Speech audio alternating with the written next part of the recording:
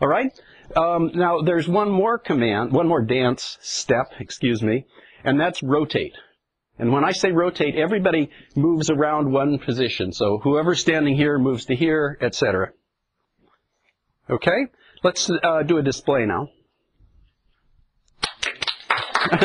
okay, hold it, hold it for a second. So you can see, because we did a bunch of twists, now it's a sort of a, a, a different thing. The twists are still there, but now they're sort of twisting toward the audience and away from the audience rather than uh, uh, parallel to the to the front of the room. You, you, see that? So if we do another rotate, let's just do that for fun, and display. Good. uh, what have we got here now? Do you think this is a three or negative three? What? Ropes don't matter. The, the ropes don't matter, no? It should still be a three. It's still a three. And, and you can sort of see, so, so in other words, it sort of looks like if you do two rotates in a row, you get back to where you were. And, and we could prove it's a three, right? I mean, if this were a negative three, how could you check that? We could do three more twists and we should be back to where we'd start. But you can sort of see if if you uh, can everybody see that if if we did a twist, it's just going to get worse and worse.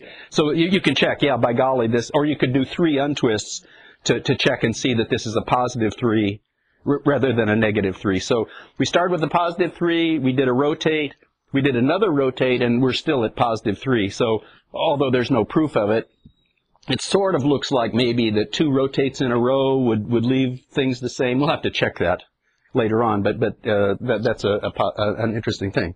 So the question is, if we do, let's say, one rotate from here, let's rotate. So now we've got the twists running toward the toward and away from the audience. What number should this be? It, first off, are we going to be able to undo this with twists? Yeah, do a display here again. So uh, let's let's try doing some twists and see what happens. Do a twist, and another.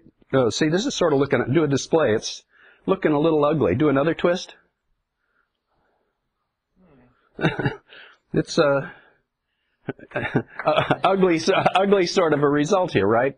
So, so the idea is what, what I'd like to do somehow is to figure out um, how we can assign what kind of a mathematical operation we can assign to to rotate to make it make sense.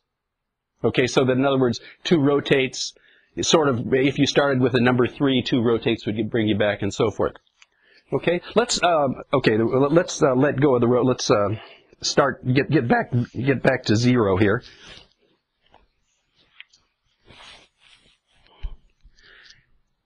Let me give you like one clue. Let's just start with uh, so this is zero. Let's do a single twist.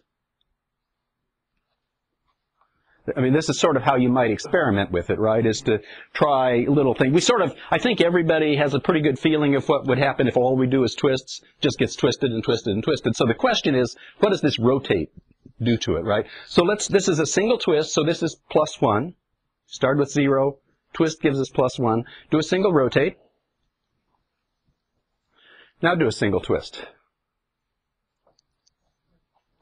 So that's interesting. It, it's possible to undo a rotate with a twist. So that means if you do a twist and a rotate, you got to what? Zero. No, you start from zero, do a twist. Let's do a twist. So this is plus one. Now do a rotate. That's not zero yet. So twist plus rotate is something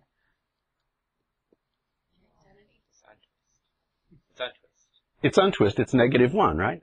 Because a single twist, if we do one more twist, so whatever this number is, do you see what I'm saying? Whatever number is, we don't know what this number is when we start, but we do a single twist, and it gets us back to 0. And what does twist do?